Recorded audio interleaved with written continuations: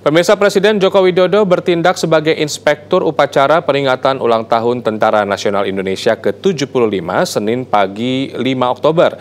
Berbeda dari tahun sebelumnya, peringatan HUT TNI kali ini digelar di Istana Negara dan dilakukan secara virtual. Upacara HUT TNI ke-75 berlangsung hikmat dengan protokol kesehatan ketat mulai pukul 9 pagi waktu Indonesia Barat.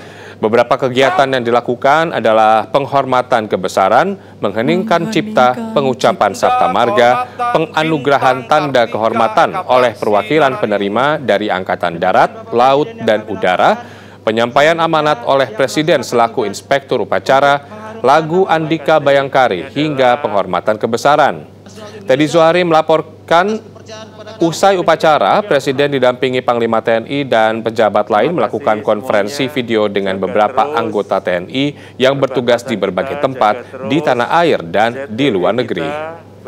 Kepada keluarga besar dan institusi TNI, kepada para prajurit yang sedang bertugas di mana pun, juga kepada para purnawirawan yang telah mewariskan institusi dan prajurit TNI yang selalu berbakti untuk kemajuan negeri dalam dunia yang selalu berubah.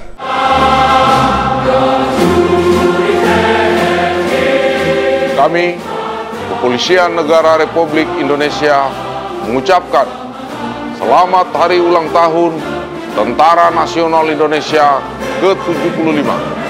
Semoga TNI semakin profesional dalam menegakkan kedaulatan negara, mempertahankan keutuhan NKRI, serta melindungi segenap bangsa dan seluruh rakyat Indonesia. Dirgahayu TNI, sinergi untuk negeri.